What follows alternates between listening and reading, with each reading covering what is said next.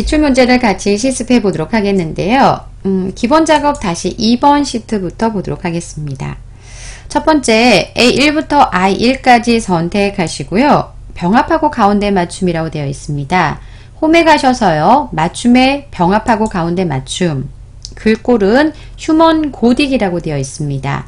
홈의 글꼴에 가셔서요. 휴먼 고딕을 찾습니다. 마우스로 클릭. 크기가 20입니다. 글꼴 크기에 가셔서 20을 선택하시면 첫 번째 서식 작업하셨고요. 두 번째 A3부터 A4를 선택하시고요.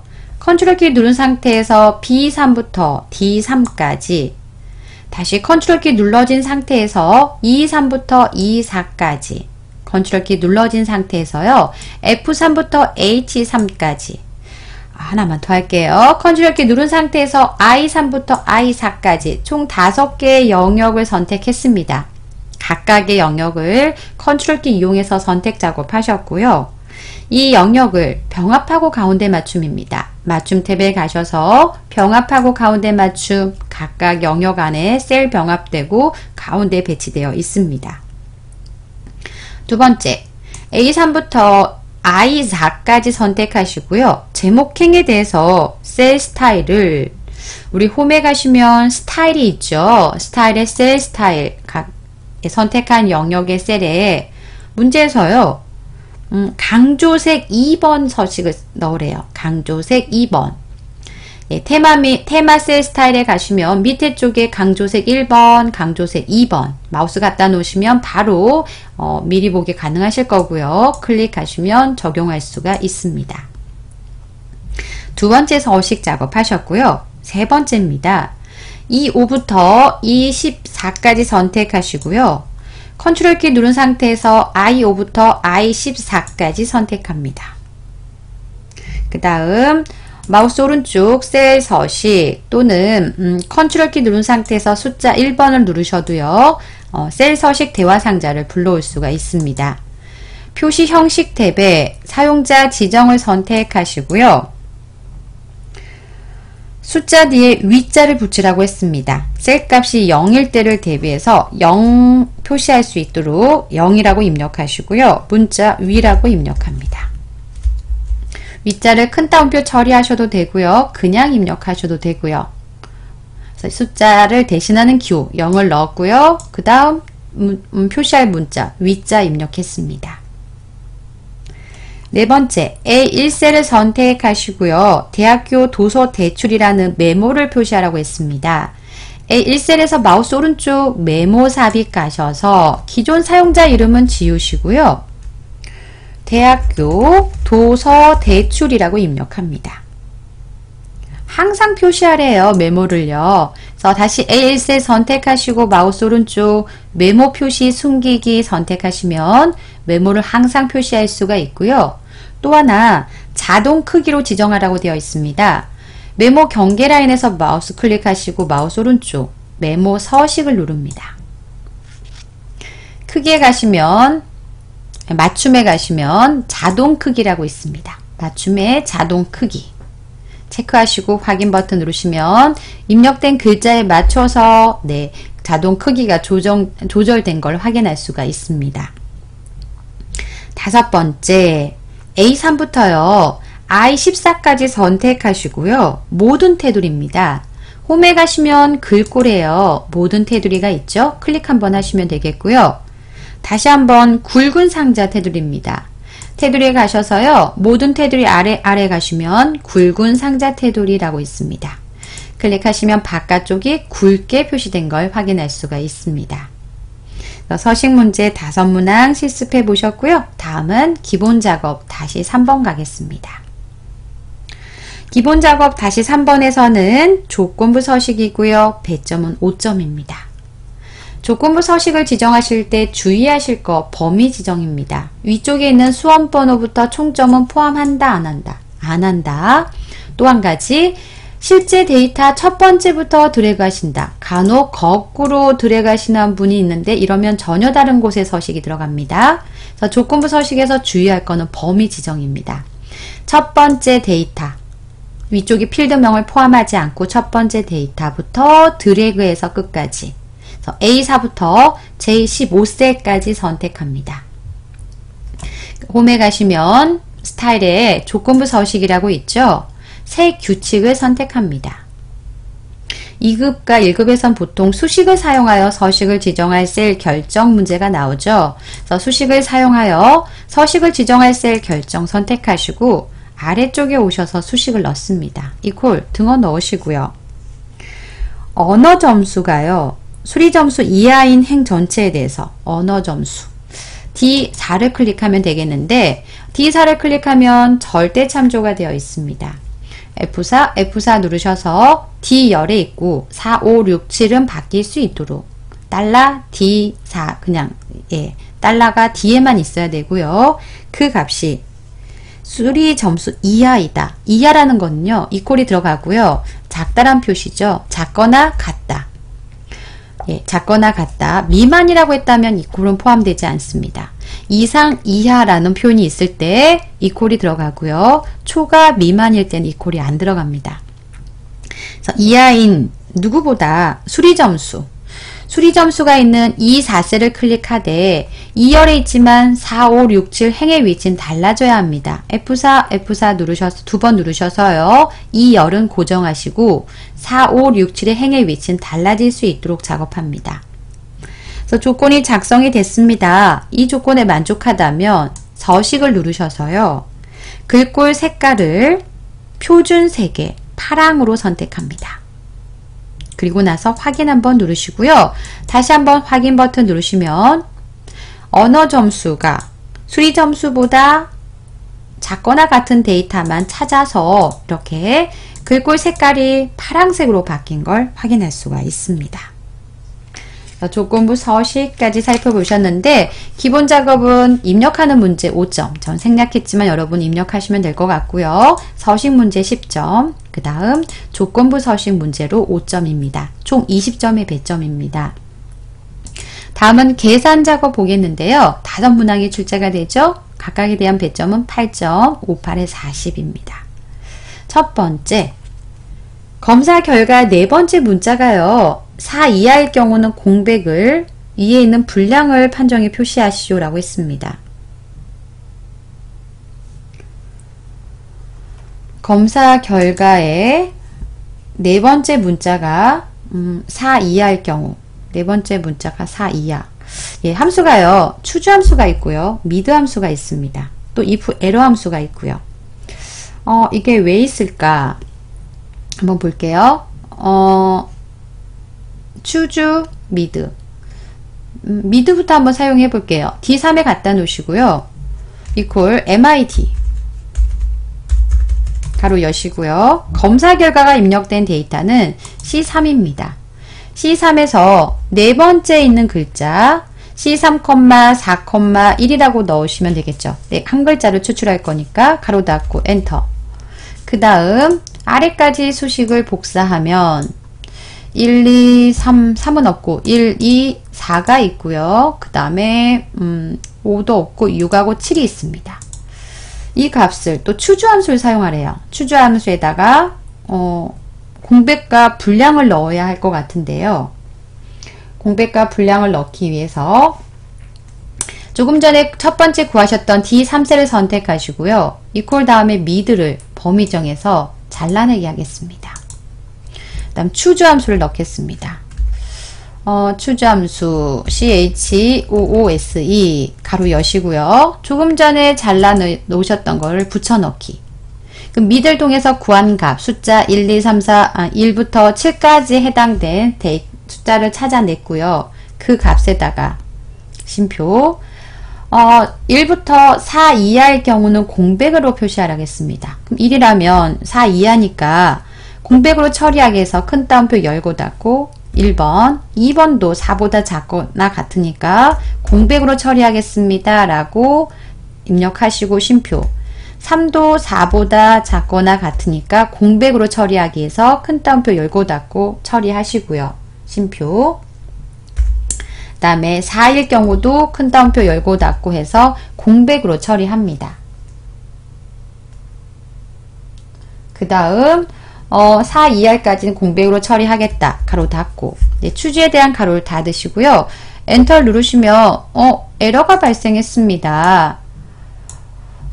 음, 예, 4보다 이제 큰 데이터들 5, 6, 7에 해당한 데이터에서 오류가 발생을 했는데 이 오류를 IFERROR 함수를 통해 가지고 불량이라고 표시하면 돼요.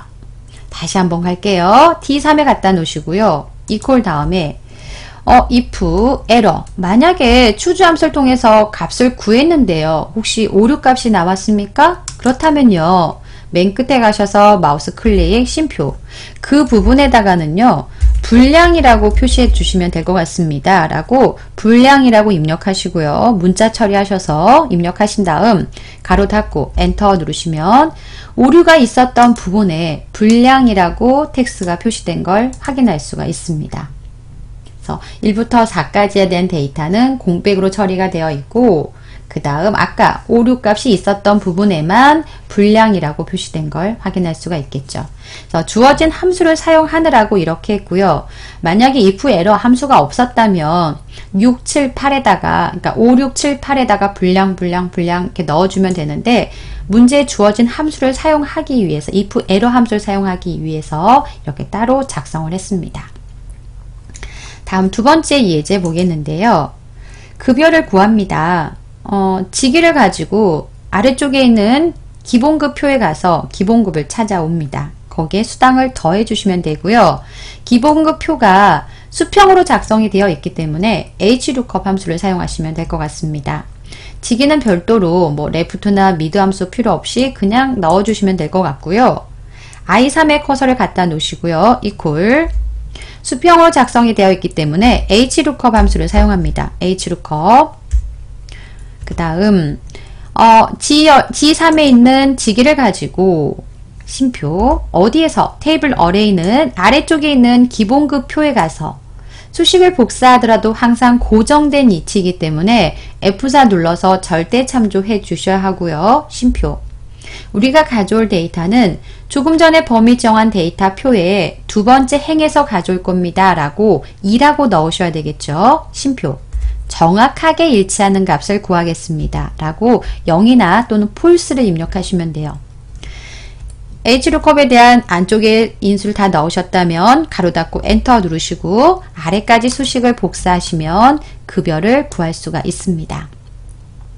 여기까지만 하시면 안 되죠. 문제에서 수당을 더하라고 했잖아요. 그래서 I3에 다시 한번 마우스 클릭하시고요. 수식 입력줄에 가셔서 더하기 왼쪽에 있는 수당 한 번만 H3셀을 클릭하셔서 더해 주시고 아래까지 수식을 복사해 주시면 두 번째 문제는 처리할 수가 있습니다. 세 번째 문제 보겠습니다. 표 3에 가셔서요. 승진 여부를 표시하는데 실적 점수, 연수 점수가 평균이 두 개의 평균을 구했을 때 그 값이 75 이상이고요. 또 하나 벌점이요. 미만인 데이터에 대해서만 승진, 나머지는 공백으로 표시하라고 했습니다. 어, 어떤 거부터 작성을 할까요? 음, 앞에서부터 쭉 작성해 가죠. 이 16세 선택하시고요. if 만약에요. 조건을 넣을 건데 조건이 두 가지고요. 둘 다 만족을 해야 합니다. 가로 여신 상태에서 and라는 함수를 다시 한번 넣으시고 가로 엽니다. 첫 번째 조건은 실적 점수와 연수 점수의 평균, 에버레이지 함수가 필요합니다. 에버레이지 입력하시고요. 가로 열고 실적 점수와 연수 점수가 있는 C16부터 D16까지 선택하시고요. 가로 닫습니다. 평균을 구했어요. 그 값이 크거나 같습니까? 75보다 크거나 같습니까? 라고 비교하시고 심표 어, 그 다음 두 번째가요. 벌점이 입력된 B16셀을 선택하시고요. 그 값이 작습니까? 10 미만이기 때문에 작다란 표현을 하는 거죠. 10, 작다 10이라고 입력하시고 AND에 대한 가로를 닫으시면 조건, 두 가지 조건을 다 넣었습니다. 두 가지 조건에 모두 만족하면 승진이라고 표시합니다. 심표. if에 대한 첫 번째 조건 처리가 끝났고 이 조건에 만족하면 출입값에 해당한 값은 승진이라고 표시합니다. 큰 따옴표 묶어서 승진, 심표. 이 조건에 만족하지 않다면 다시 한번 공백 처리하겠습니다. 라고 큰 따옴표 열고 닫고 처리하시고요. 가로 닫고 엔터 눌러주시면 승진 여부에 조건에 만족하지 않았기 때문에 첫 번째는 공백으로 표시가 되어 있고요.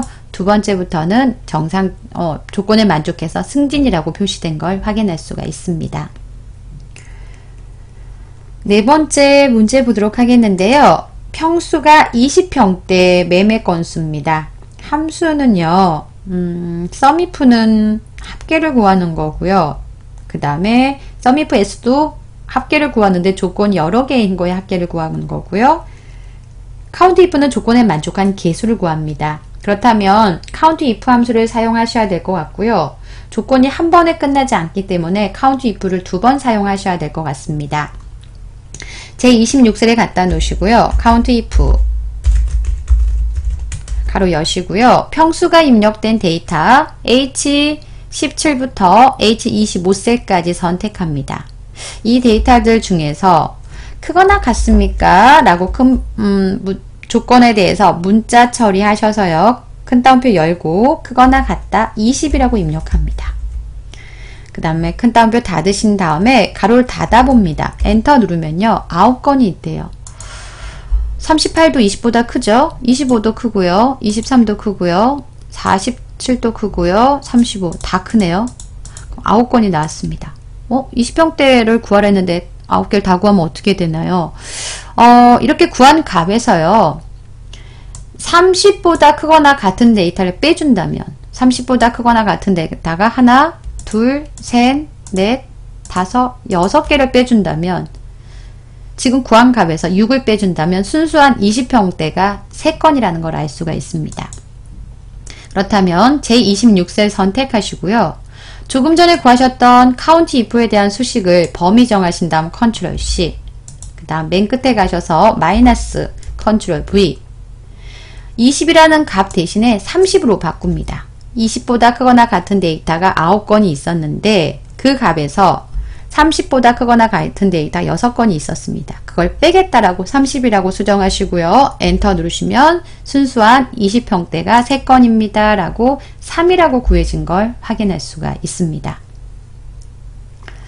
다음 표 5를 다섯 번째 예제를 보도록 하겠습니다. 이 부하 랭크 함수를 사용해서요. 기록에 대해서 1등과 2등은 경, 결승 진출 나머지는 공백입니다. 카트 경기를 했습니다. 기록이 느린 게, 아, 이, 어, 2초가 더 빠를까요? 2분이 빠를까요? 아니면 1분 57초가 빠를까요? 네, 앞 숫자가 작을수록 빠릅니다. 그래서 랭크 함수에서 아셔야 될 거는요. 오름차순으로 순위를 구하, 구하셔야 합니다. 먼저요. 랭크 함수부터 구해보도록 하겠습니다. equal rank라고 입력하시고요. 왼쪽에 있는 숫자가 C29셀에 있는 값이 본인을 포함해서 나머지 기록들이 다 들어갑니다. 단 수식을 복사할 때마다 본인의 기록 파란색의 부분은 바뀌지만 연두색의 초록색의 부분은 같은 위치를 참조하셔야 됩니다. F4 눌러서 절대 참조하시고요. 보통 내림차순 구하실 때는 생략하셔야 되는데 지금은 오름차순을 구하셔야 되기 때문에 1이라는 값이 들어갑니다. 그 다음 가로 닫고 엔터 누르시면 8이라는 값이 구해져 있고요. 아래까지 수식을 복사하시면 작은 숫자가 1등이란 걸 알 수가 있습니다. 그 다음 결승 첫 번째 데이터 T29셀 선택하시고요. 이제는 equal 다음에 if 만약에요. 가로 여시고요. 순위를 구한 값이요. 1등과 2등 작거나 같다. 2보다 작다 라고 표현하시면 되겠죠. 1등과 2등을 비교하기 위해서 어, 작거나 같다 2라고 넣으시고요. 1과 2등에 대해서는 결승 진출이라고 입력하고요. 나머지는 공백으로 처리하겠습니다. 라고 큰 따옴표 열고 닫고 처리하신 다음에 if에 대한 가로 닫아주시고 아래까지 수식을 복사하시면 네, 1등과 2등에 대해서만 결승 진출이라고 표시가 된 걸 확인할 수가 있습니다. 여기까지 계산 작업까지 살펴보셨습니다.